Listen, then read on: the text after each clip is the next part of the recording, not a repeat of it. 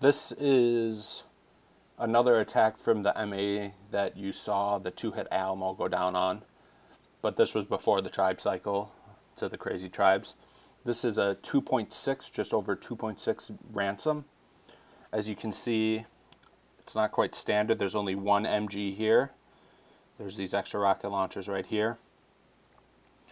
And Tipo is actually doing this hit, so and it's a little bit of a unique way to do ransom that you can do sometimes depending on how many MGs are down in this area. So let's go ahead and watch it. He wasn't able to drop this base but got so close and it's just such a beautiful hit and such a neat idea that I really wanted to get it up on the channel.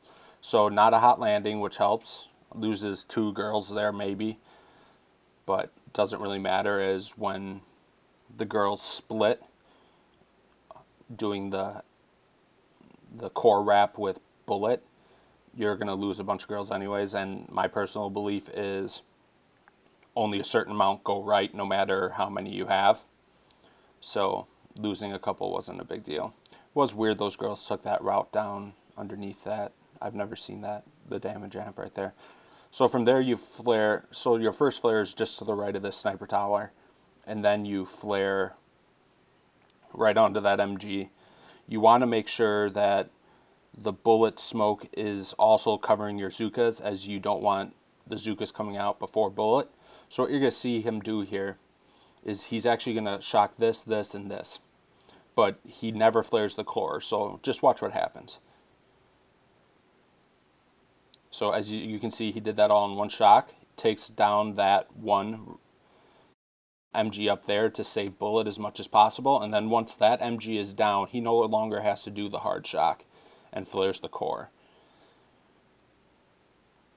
And he's able just to repeat shocks. This is a 5-5 account, so doing pretty good damage.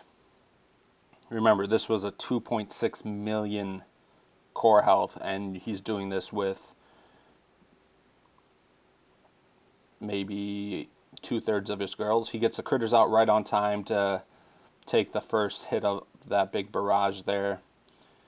And unfortunately, I think he left like 200k on the core. Was an easy flash. But that's just an idea for you guys. When you see very few MGs down here, you can just let Bullit take that top machine gun. Obviously, that creates a problem for the next hit as you can't do the wrap. But you can just take that top machine gun and then let the girls kind of naturally attack these three the two that are dead in this building are the ones that will often get attacked. I did want to mention after the fact that Tipo was actually able to spend 45 seconds on the core which is kind of nuts. Hope that's informative to you guys. Hope that's something new you haven't seen.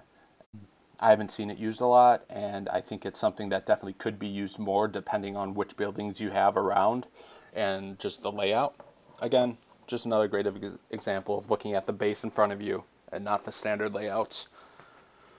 Hope you guys are having a great day.